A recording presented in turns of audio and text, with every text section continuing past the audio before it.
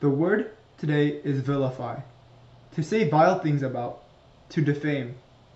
These pictures are all related to the word. Here's how you can remember this word.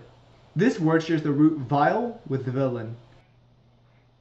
Villain is a bad guy, and fi means to make. To make someone a bad guy. To defame.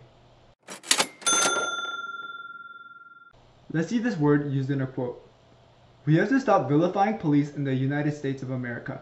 It does not help matters when you vilify our police because most officers serve our communities with honor and distinction, said Rep. Donalds to the National Desk Jan Jeffcoat.